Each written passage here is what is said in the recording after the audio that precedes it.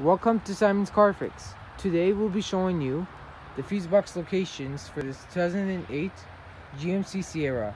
The first fuse box location we have is located right over here. Here are the fuses. And here's the cover.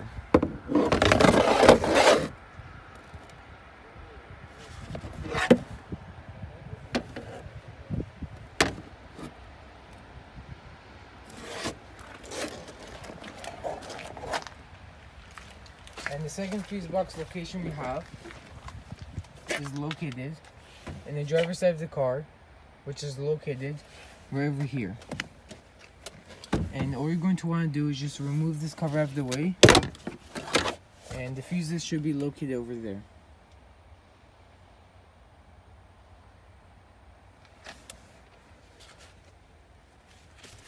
Here's the cover.